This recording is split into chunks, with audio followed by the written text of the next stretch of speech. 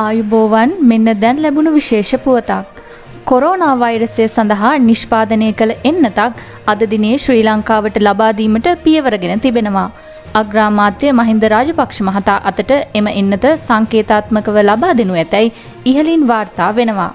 Corona වෛරසය සඳහා ලෝක සෞඛ්‍ය සංවිධානය ඉදිරියේදී අනුමත කරන එන්නතක් ශ්‍රී ලංකාවට මාත්‍රා 20ක් ලබා දීමට නියමිතව තිබෙනවා. අද දිනේ සිදු කිරීමට නියමිතව ඇත්තේ සංකේතාත්මකව බාර දීමකි. ඉන් අනතුරුව නියම කරන දිනයකදී වැඩපිළිවෙලකට අනුව එම එන්නත ලබා දීමට පියවරගෙන තිබෙනවා.